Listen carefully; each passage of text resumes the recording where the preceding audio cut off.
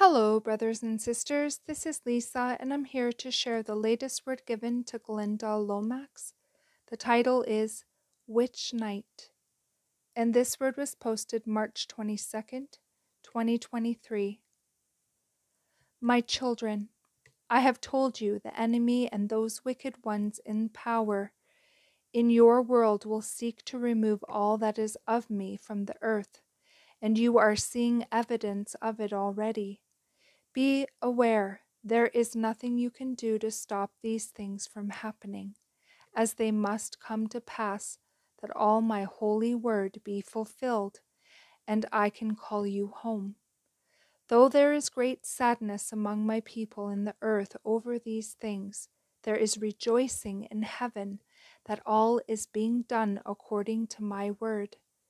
Make the time you have left count, children, for you know not which night will be your last on earth, and an event coming soon will take many, many souls in one night with no warning beforehand.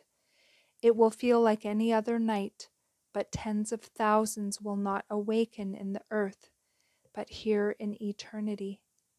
Do not put off to do what I have called you to do for time is of the essence. Do not fear what comes, for I hold you in the palm of my mighty hand until it is your time to come home to me. And that is the end of this message. I pray you all have a beautiful day in the Lord.